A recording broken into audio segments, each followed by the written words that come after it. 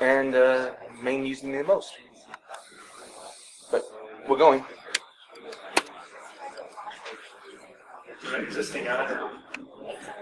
Yeah, it's on.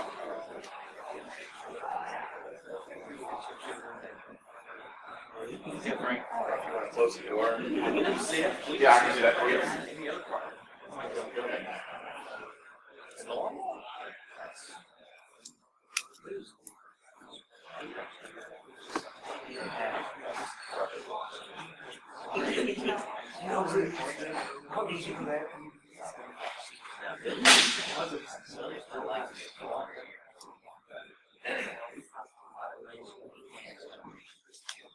Can everyone hear me? Is that too loud?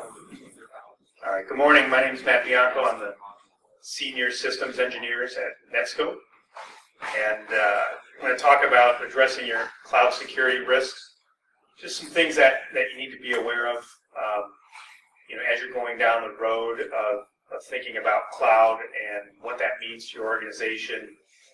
Uh, there's going to be things in here that, that may seem familiar, but there's certainly going to be things in here that you probably never thought of. So just a quick poll here.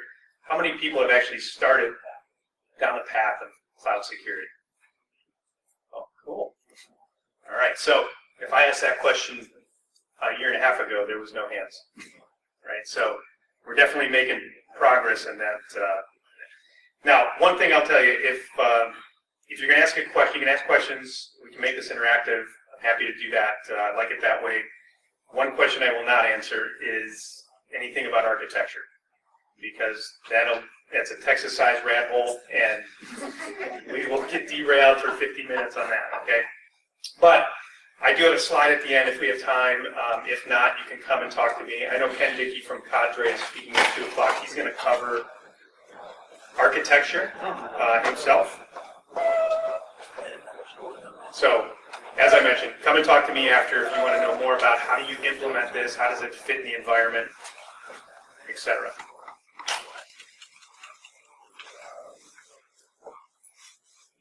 Stand by. Okay.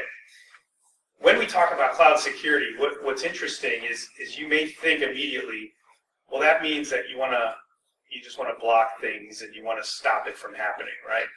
And that's not the case at all. Cloud security is or cloud is a good thing, right? I, I use cloud every day. I mean, who doesn't use cloud in here? If anybody raises their hands, it'll freak me out, right? But we all use it. Um, even sharing grocery lists with my wife on, on iCloud, you know, that's that's cloud. Gmail, Dropbox. I mean, the things that we do even on a personal level, that's all cloud. So cloud is fantastic. And there's a lot of business needs for cloud if you think about it, right? I mean, we can spin up an app. Uh, we don't have to pull in servers. We don't have to pay for power.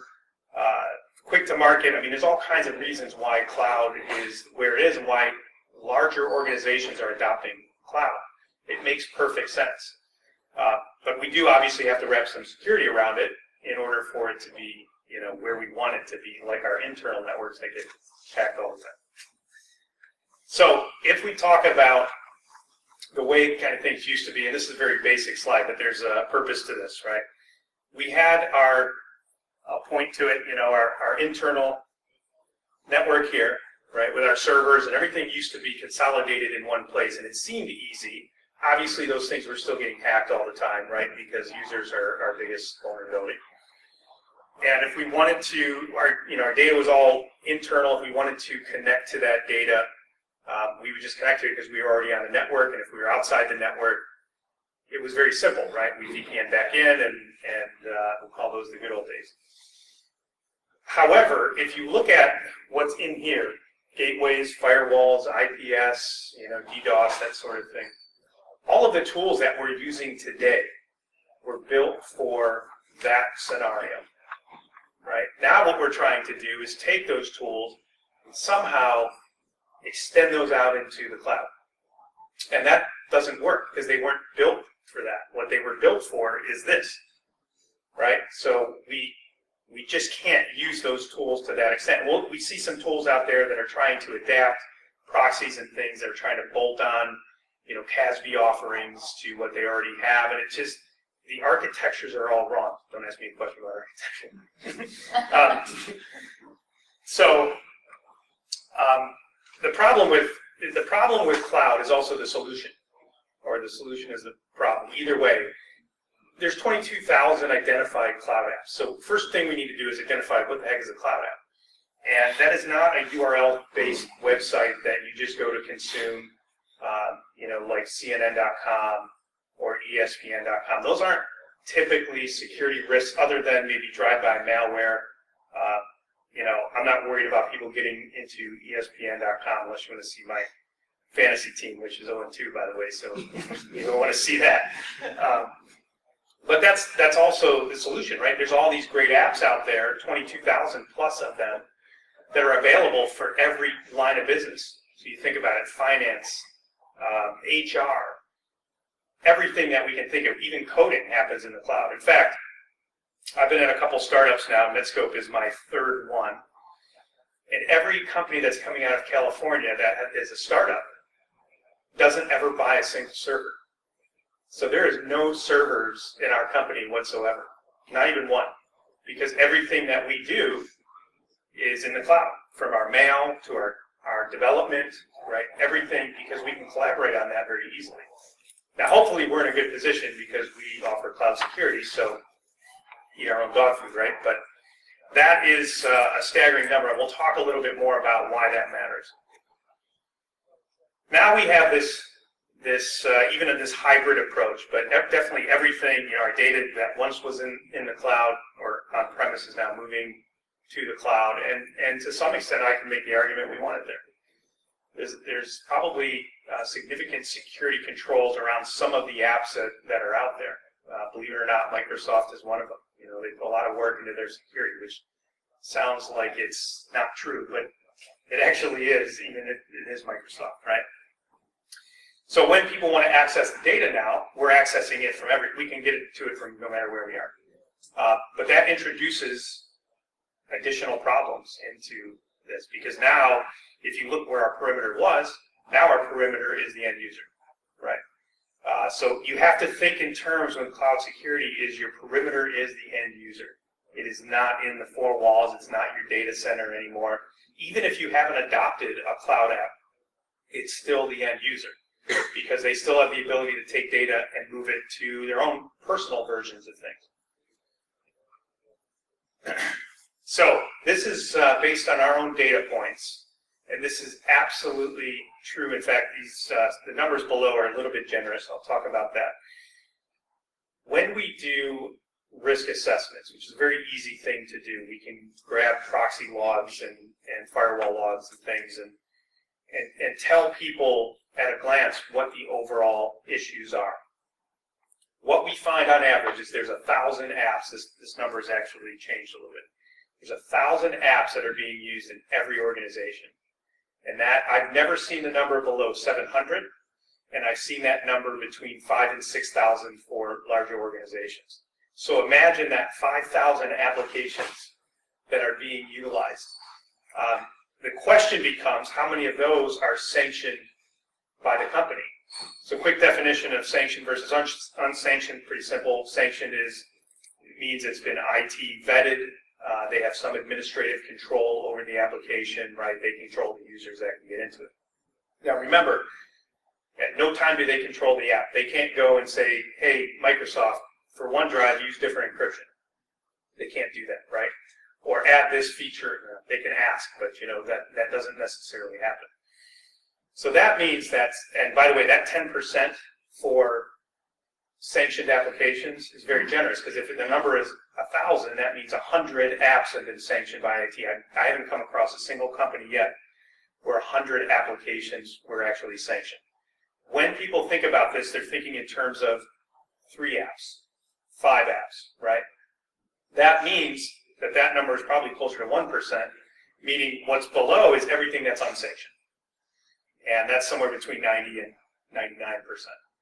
So when you're talking about a cloud security strategy, it has to encompass this entire thing. It can't be that top line. And, and we'll talk about generation one CASBs versus Generation 2 CASBs and, and what the differences are. But one of them is that top line. That was Generation 1 CASB, which is let's just uh, control the sanctioned apps, right? But as you can see, if the majority of the app usage and the majority of the data that's going out is going into unsanctioned apps, then we need to control the whole thing. The other part of this is, is SSL inspection, right? A CASB should be doing SSL inspection automatically because 100% of the traffic that is going to these cloud apps is, is SSL or TLS encrypted. So without it, you don't have any visibility. You're basically back to the days of a proxy, which is a blocker allow strategy. All right, so quick poll here. How, how much data or business data do you think exists in the cloud today? Anybody have an answer here? More? It's actually probably less than you realize. Uh, be, because we're really at the footnotes. It's a percentage, and we have a percentage to throw in. 20, uh, yeah, it's 30% right now. Um, so close. And rapidly growing.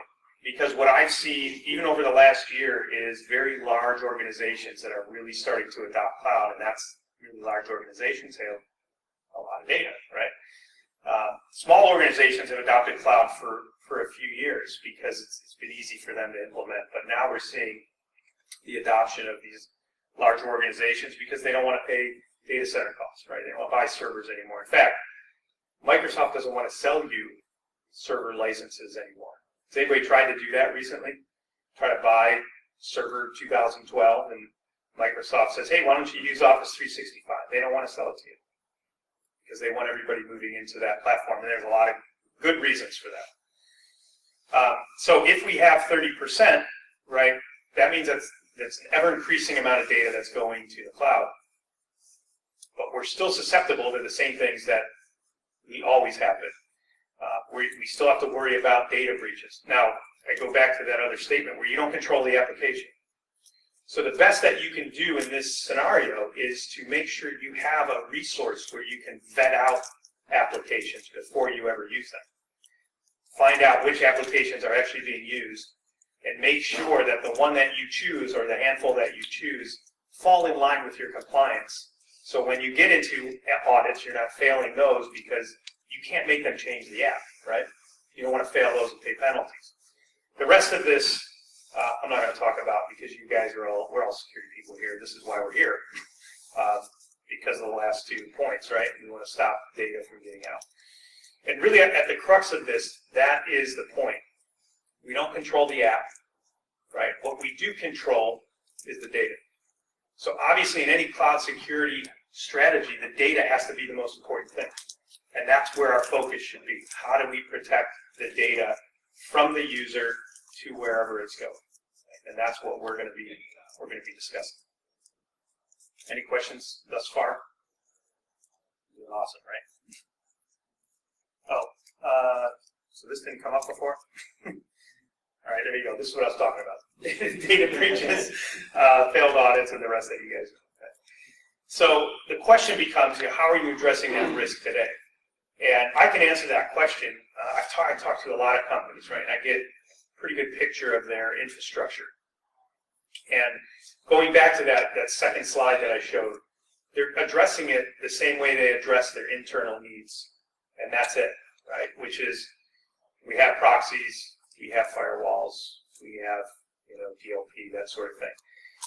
Again, none of that extends to the cloud easily. Um, and it certainly doesn't see the cloud in the way that the cloud needs to be seen in order for you to audit it and, and take action on it. So when you go down this path, you should be asking that question. You know, how do our current controls work for cloud usage? Um, and the short answer, again, is it doesn't. Uh, so you need a new strategy for that, and that's where CASBs um, came into existence. Now, if we go back to that original picture, uh, this was the strategy back in 2005, which was, hey, we'll just block everything, right? we're going to use our proxies. These things are brand new. Let's just block everything. This is falling down. Um, So yeah, so that's not really sustainable, right, in, in any kind of cloud strategy. Because we want the cloud to be used. So how can blocking be a strategy? You know, it just doesn't work. And uh, it's never going to work because that's not the world we live in anymore. It worked in 2005 because we didn't have the mobile app usage that we have now. I mean, everybody was connecting through browsers, and there weren't a lot of cloud apps back then, by the way, so that wasn't that hard. So we were just doing URL filtering. So 2005 was easy, but a few years ago, first generation CASBs came out and said, all right, here's your strategy. Let's sanction one app, and then we'll block everything else. So similar strategy, but now you just have one app that you're allowed to use. Again, it's not, a, blocking is never going to be a sustainable strategy. So if you come to me after this and say, hey, Matt, tell me how I can block better, I'm not going to answer that because that's not a strategy, right? Uh, so anyway, uh, and one of the reasons why that is not a strategy is because we what we find is that they end up opening up and punching holes through those to begin with. Right? So they try to block everything, and then HR comes and says, "Wait, I need all these apps," and then finance comes and says, "I need all these apps." Right? So now all of a sudden you have what we call exception sprawl happening. And what we've actually found is that 90% uh, of the cloud app usage is actually from blocked apps because they've opened them up, and those are based on you know all the assessments that that we've done. So right there is one reason why blocking doesn't work. The other reason is blocking is an on-prem typically solution. So as soon as you leave or you pick up your mobile phone and go on the LTE network, uh, you can go wherever you want, right? There's a lot of holes in blocking strategies, so that doesn't save you from anything. So the question becomes, um, what do we do? And oh yeah, by the way, you know, you can just find another app that's probably far less secure to use and that is not in your proxy category list, and just use that because that's what people do. Eventually, if you're blocking Dropbox and places where they want to move data to, they're just going to find an app that you're not blocking, and that's typically the security on those is is terrible. But you don't go to their website. Um, the one that I pick on all the time is ZippyShare. Right? We see that being used in places, and you're not going to go to ZippyShare and on their website, and they're going to tell you, hey, by the way, this app is a piece of junk. Right? Nobody says that. They're going to say, hey, you get one gig of free storage. How great is that? But when if you have the ability to vet out that app, it, has no security. The only piece of security that it has is SSL, which is easy to do because you just buy a couple certificates, right? But there's no encryption at rest, there's no compliance, there's nothing. And this is a place that people are potentially moving data. Without that SSL inspection, what kind of data is it, right? We'll get to that. So the way you should think about cloud security is it being an enablement technology, not a disablement technology, right? Again, the blocking doesn't work, so you have to enable what people are going to use anyway. They're going to figure it out, so just let them use it. But let them use it safely. And, and that should really be how you're approaching cloud security. Um, in security, we're kind of hardwired a little bit um, to figure out ways to stop people from doing things or stop people from getting infected with things. Or, you know, it's all about stopping. So when we talk about security, it's a little weird to talk about enabling. But you'll find that this strategy yields much more security than your blocking strategy because this strategy will allow your users to do what they need to do and you can protect them wherever they are. Doesn't matter if they're on-prem, off-prem, managed device, unmanaged device, we can protect them. so the other part of this, uh, and I haven't gotten to the six steps yet, but I will. Um, we got 50 minutes, so we, uh, we can talk a little. The other part that I find that's a little bit difficult is uh, since this is kind of a newer space, we're, as I mentioned before, really at the foothills of this exploding, right? Um, as people adopt more and more, the security becomes more and more important. It's still a little difficult to talk to leadership about about this whole process and why it's important. Right? So we actually um, need to provide them something that they can reference that shows them what the issue is. And any CASB, typically, um, there's a few that don't, but most of them do, will come in, they'll grab some proxy logs from you or Firewall or SIEM. They will do some magic on the back end and parse those logs. And they'll tell you what the problem is, and they'll basically create a story for you. And you can take that story and you can hand it to your leadership and say, you know what, by the way, I don't know if you're aware of this, but we're using 1,500 apps. We thought it was 20. And we don't have any way of knowing what kind of data that is going through there because the vast majority of companies aren't doing SSL inspection, right? This is definitely something I know. There's a very, very small percentage of, of companies that are doing SSL inspection on that traffic. And even when they are, they're not seeing it in the context of cloud because cloud speaks API, right? So SSL inspection is great if you're just looking at all the data, but if you don't understand the context of what a user is trying to do, you're missing the boat on, on a lot of it. But most companies aren't doing SSL inspection. So now they're, I, I talked to a customer not too long ago. We were sitting across the table and, and believe it or not, they're trying to convince their leadership to allow them to SSL inspect that traffic. And she said, today, statistically, we are blind to 40% of our traffic going through. Now, yeah, we can see the headers, right? We can see where it's going. But that's it. It doesn't tell us what the payload is. We can't inspect the document. We don't know if that's sensitive data going out to the cloud. We have no way of knowing it. So we're blind to 40% of that. Next year, it's going to be 60%. A few years from now, it's going to be 80% because SSL is easy to do. So in any strategy, the question you need to ask is, how are you SSL inspecting my traffic? And, and today, CASBs will have, they have to do that automatically. So if you have an SSL project that's been sitting on the shelf waiting for you to figure out how that's going to hit performance, what kind of appliances you're going to need to buy, you know, all of that stuff, which is a huge cost. Um, look at this to replace that project because it has to be done anyway. And by the way, the SSL inspection is happening in the cloud. It's not happening on your premises. There's no performance hit. Right? Cloud's much more robust.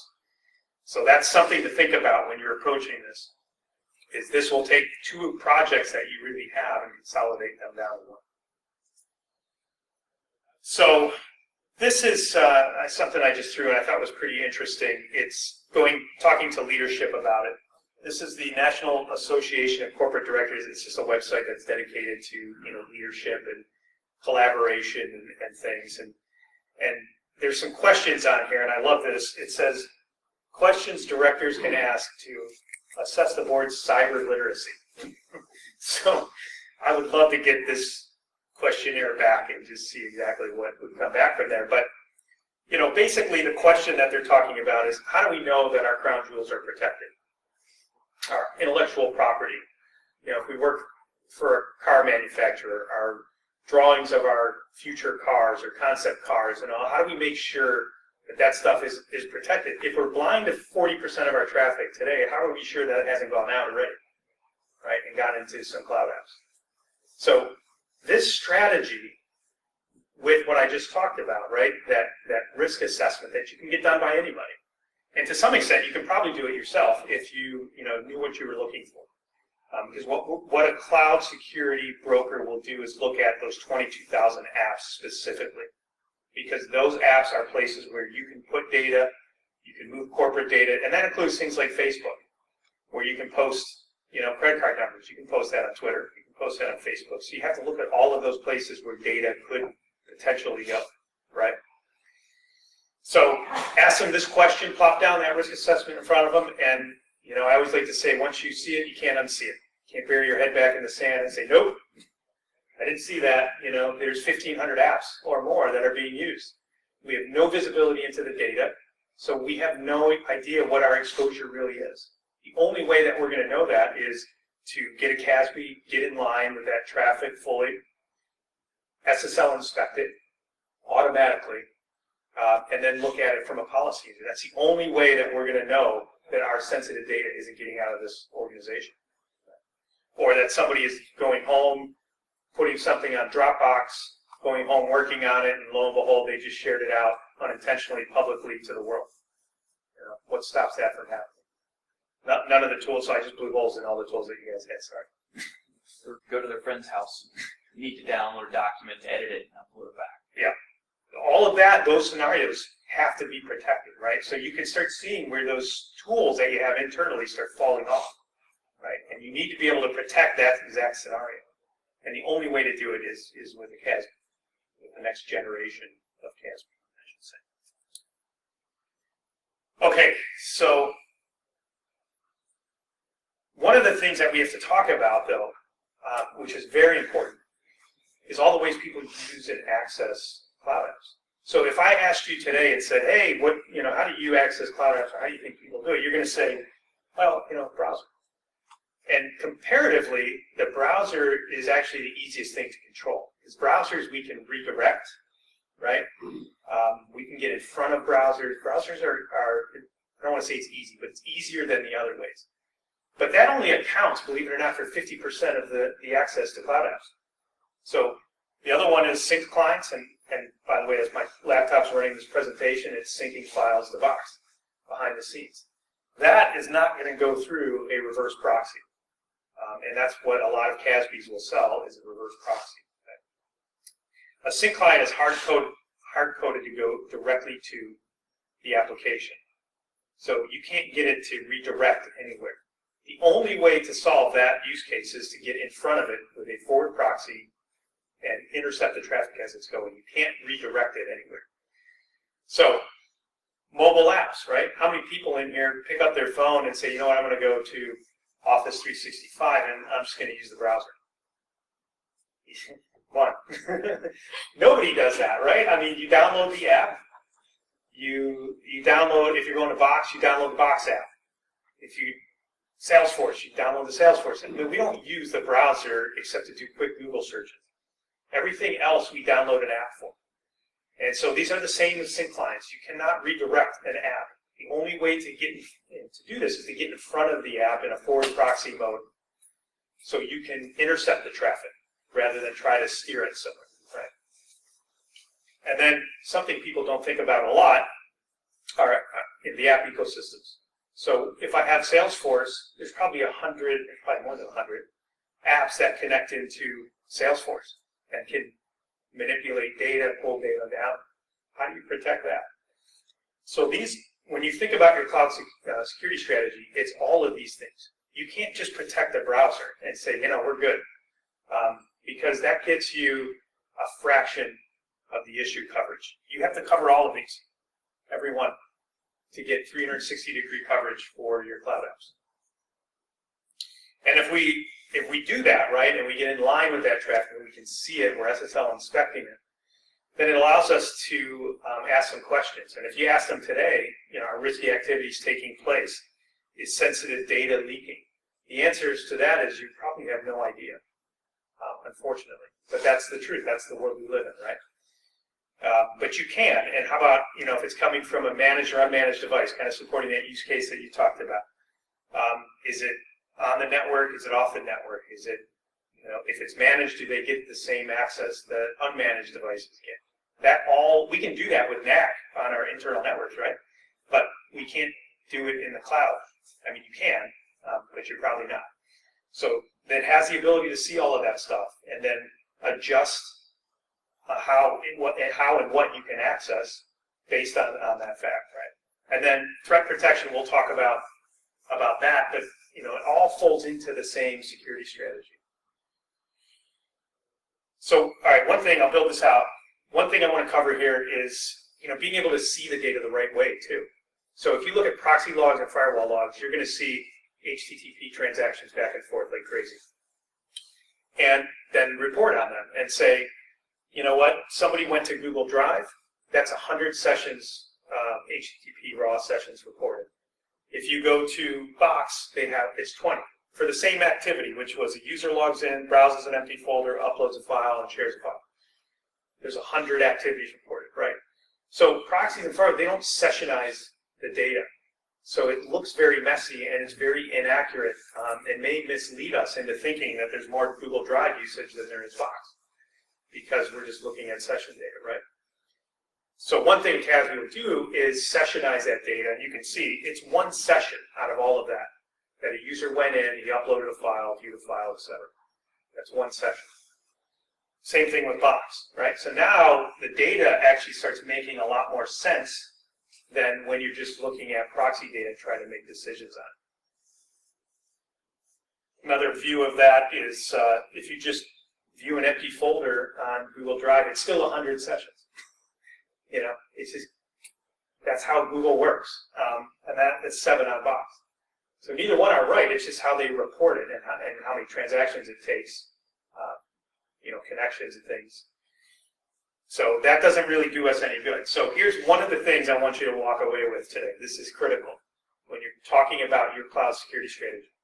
In order to do this correctly, in order to be enablement technology, yet be more secure, you have to see the activities that happen inside of every app. Not just your sanctioned apps, every single app. You need to be able to see what is that user doing inside of Zippyshare, right?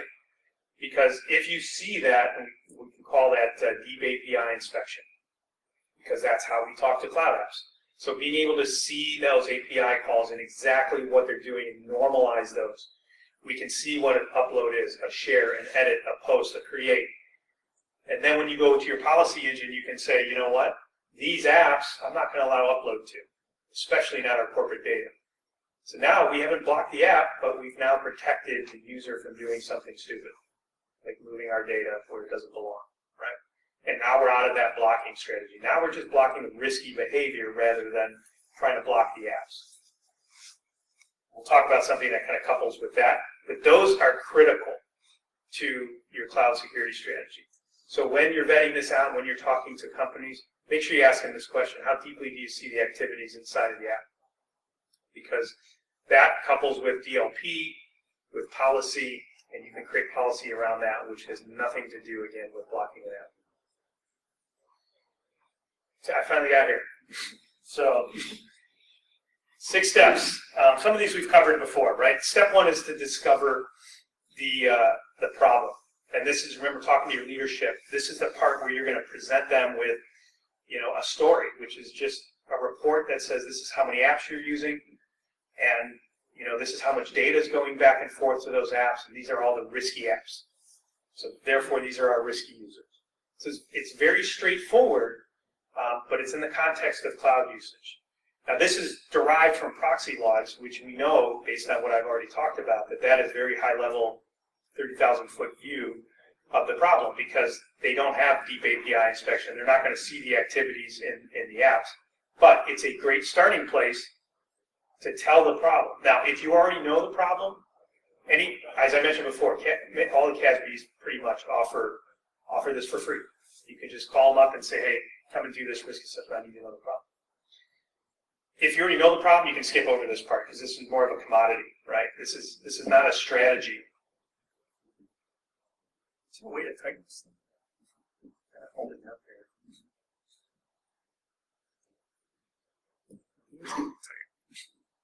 All right, that's not a that's not a strategy. So your strategy isn't block. Let me tell me the problem, and I'll just use that information to block. Right? We'll talk about that. So you need that information potentially to move to stage two, which is the holy grail, in my opinion, of what a CASB should be doing, and that is preventing the exfiltration of data. And that's really at the heart of, of what this stuff is, right? We are preventing the data from getting where it doesn't belong. That's what a CASB should be doing for you. Now, there's a lot of ways we can do this. We talked about, you know, it says in here, sanctioned to unsanctioned app. So, you know, what prevents your user, even though you have a sanctioned app? Let's say that you're sanctioning Office 365 and you're using SharePoint one of your users pulls a file out of there and then says, you know what, I'm going to work on this at home and moves it over to the box, their personal Box account, or their personal OneDrive account. You know, what stops them from doing that?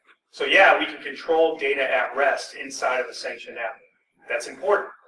We can encrypt files in there. We can scan it, you know, for malware. You want to do all of those things. Uh, but unless you're taking care of the data in motion, you, you're missing 95% of of your cloud usage. Right? So that's dangerous.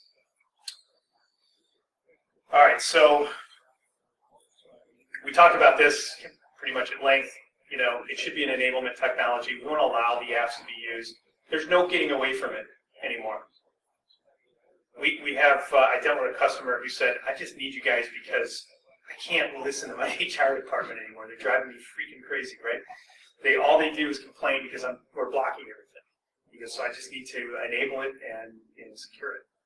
Um, again, that that has to be your strategy, coupled with you know that SSL inspection, that deep API inspection. All of those things are what you don't have today, for the most part, right?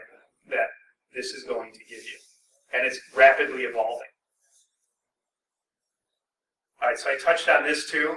Um, this, which is allow, you know, being able to detect managed versus unmanaged devices. So we, we do that internally. And if I plop my laptop on one of your networks, I better not be able to get on. Um, I have in a couple instances in some networks, but uh, I shouldn't be. So you want to make sure that the same applies to the cloud. There has to be some audit on the endpoint, whether that's a certificate check or even a deep, you know, OPSWAT audit of the endpoint to see, hey, are you running this kind of encryption? Are you attached to this domain? Are you running these processes? Um, do you have these files installed? And if you do, you're a managed device, right? And if you're a managed device, then you get all the access that you should get to your cloud apps, especially sanctioned ones. But if you're not a managed device, then you should be extremely limited. So if I go home and try to go into our corporate Box account and I get on my wife's computer, um, it should know that that is not my corporate device and it should limit me to either viewing only or maybe nothing, right? So that's a very important piece of the world because if the user is the new perimeter, um, we need to know a little bit about that user before they get to our data and their device. So we can uh, we can talk about different ways that you can do that, but it, it's certainly built in. All right, um, step five is is all about threat detection. So uh, this has also been rapidly evolving, probably over the last six months, I'd say, in, in. And that is the ability to obviously detect malware in sanctioned apps, which is, think of it as data at rest. So being able to scan any file that's been dropped in a sanctioned app, but also in motion. So data going to any cloud app. And, and the goal here is to stop the cloud propagation of malware. Because if I put a piece of malware up in, in our corporate Box account or OneDrive, and then I'm sharing it with a bunch of people, well, they just got that. Or if I'm syncing files, now I just pull the file down automatically to my to my endpoint, right? So it has to be robust, and it can't just be, hey, by the way, we OEM, you know, one of the big name antivirus. I mean, it has to be that. It has to be dynamic, sandboxing, the same stuff you're doing internally has to be done for, for your cloud data. And then you throw on top of that anomaly detection. So who's bulk uploading and downloading files? Are they logging in from two different locations in a given period of time, right? Are they sharing credentials into an app? User behavior analytics is a big term in the industry, right? Now it's built into cloud usage. I'm pretty predictable, so I wake up in the morning, I go to the same things I usually go to, and I move similar files. So it's pretty steady.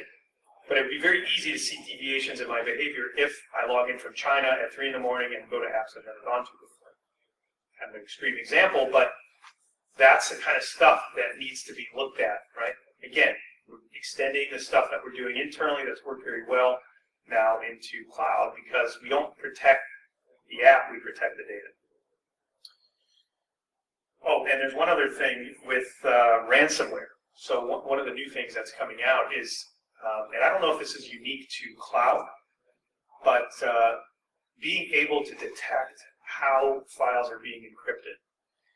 And I don't have all the expert details on this yet, but when something, if somebody gets it and it's trying to encrypt data in your sanctioned application, and, and possibly if it's not using your keys to encrypt it or some other checks it's doing, it's going to be able to stop it, right? And the files that it does encrypt, the first couple, will obviously be restored from previous versions. So that's all in the works of, of taking care of ransomware in the cloud. It's pretty cool stuff. And then the last one is uh, coaching users, right? And, and this probably, at first glance, doesn't seem like it's an important part, but this is actually one of my favorites. Uh, if we're behind a proxy and we go to a website that we're not allowed to go to, what happens? It throws us this big abrasive alert that says, you know, screw you. You're not going there, right? And um, that's that's not how a CASB does it. So a CASB is going to, you're going to try to move sensitive data to a place you shouldn't. Uh, could be PCI data, PHI data, I mean, whatever compliance you have, we can look for it. When you do that, it's going to pop up something up and say, you know, this is this is not the place you should be putting this data, um, so we're not going to allow you to do it. And by the way, here is the place where you should be putting it in our sanctioned application or internally to our network. This doesn't go outside, therefore, you know, so you do that enough times, the users will learn, you know, and they're automatically going to go to the desired behavior. If you send out an email saying, hey, by the way, we prefer everybody to put everything in Box, please, and uh, here's the link, I mean, who's going to remember that? Who's going to care? You know, nobody's going to care about that. So you're real time educating the users to what you want them to do. Real time. So you pop that up and you can brand it any way you want and you can have it say, you can even have it redirect automatically to the desired behavior. Right? So that's an important piece uh, of that whole process. And in order to do that, obviously we kind of go back and look at that deep API inspection, all of those activities that you can create policy on to stop that and pop that message up, all the stuff that we've already talked about. Uh, so I think this is probably the last slide, and this talks about you know the first generation CASBs versus the second, um, and I think it's important to differentiate between the two. When when CASBs first came out a few years ago, uh, their goal was to tell you the problem, right? And I, I think there's a commercial out there. Did anybody see this commercial where a guy comes in, he's a termite he's, he's monitor, and, he, and he's, they got termites all over the place, and they say, um, what are you going to do about it? He goes, well, I, I'm just the, the monitor. I don't do anything about it, right? And that's kind of what CASB was, in the, you know, when it came out. Um, tell me the problem, and then just that blocking strategy, which of course we know doesn't sustain. It's not going to work. Uh, it doesn't do, you know, doesn't look at any activity. Um, it's not doing, you know, or it is doing basic DLP, so regex and keyword matches and things, and it basically wasn't doing any threat detection. So very, very basic problem. Then we moved into, you know, now the second generation of CASBs, and that is that 100% coverage for all the apps. Um, you know, blocking those activities, not the app itself. And then um, true enterprise class DLP, and that's important, right? That's probably one of the things when you're going down this path you want to ask about. How enterprise class is your DLP engine? Because really, at the end of the day, we're seeing activities, but your ability to detect that behavior comes from your DLP and policy engine. So that is one of the most important pieces of any one of these products is how enterprise can do proximity analysis and or logic, um, fingerprinting, exact match, all of this stuff that you know that we need internally, yeah, we need for the cloud as well. So you want to ask that question. You really want to test out those DLP engines because if you can't, if you can see it but not enforce it, if you can't see it, um, obviously it's no good. Right? And so you're only as good as your policy engine behind the scenes. And then obviously all that threat intelligence that I talked about, uh, all of that now is is built into these products. So you can see, I mean, it's very robust. It's come a long way in a very short amount of time. Uh, so there's a lot to look at. But those are the things that you want to focus on when you go through this process. All the stuff I talk about, those activities, right? Um, those are important, the DLP engine. That should be your strategy going forward because you want to future-proof yourself to whatever you end up with. And a lot of these out there, they're not future-proof. They'll cover you for now for six months, right?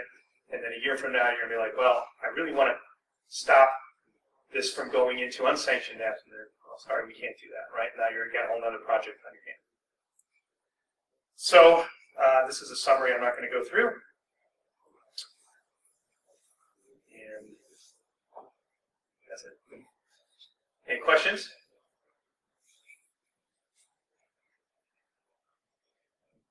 No questions.